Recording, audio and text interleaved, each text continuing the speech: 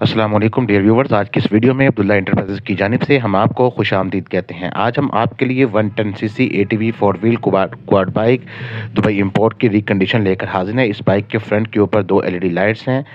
Tube tyres इस bike के अंदर जो है, वो इंस्टॉल हैं।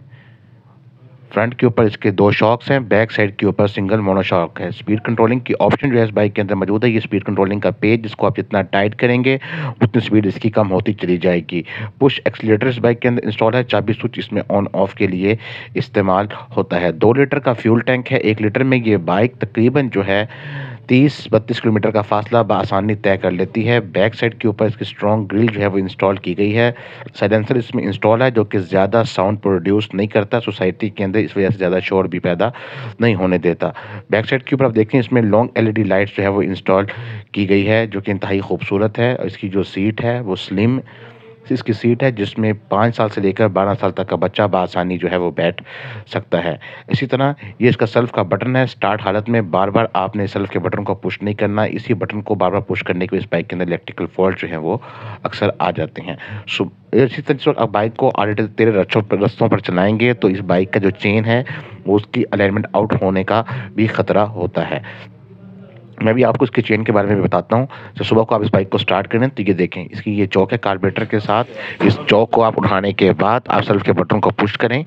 पाँच सात सेकंड चौक को आप ऊपर रहने दें, उसके बाद आप चौक को नीचे कर दें। फॉर एवर एयर फ़िल्टर इस बाइक के अंदर जो है वो इंस्टॉल किया गया है। जब भी आप बाइक को सर्विस करवाएँ तो आप इस बाइक के इसके एयर फ़िल्टर को पेट्रोल से वॉश करवाने के बाद दोबारा आप इस बाइक के अंदर इंस्टॉल कर सकते हैं। अब मैं आपको चेन की तरफ़ जो है वो नीचे बैक साइड पर लेके चलता हूँ, ये देखें। इसके ये चार जो है इसमें नट दिए हुए हैं, ये नीचे के जो दो नट हैं, ये इसके चेन की अलाइनमेंट के लिए ये दो नट, इसकी जो चेन की अलाइनमेंट है, इसके लिए आप इसको इस्तेमाल कर सकते हैं और इन दो नटों की मदद से आप बैक साइड के व्हील्स की अलाइनमेंट जो है वो भी बसानी कर सकते हैं।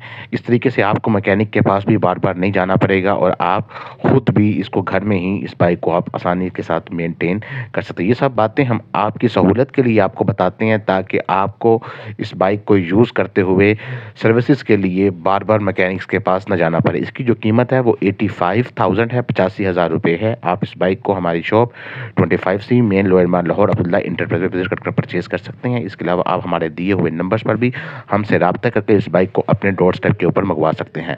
हमारी वीडियो को लाइक करें शेयर करें, हमारे चैनल को सब्सक्राइब करें और बेल आइकन पर लाजमन क्लिक करें ताकि हमारी बाद में आने वाली वीडियोज़ का आपको आसानी के साथ नोटिफिकेशन मिल सके। शुक्रिया।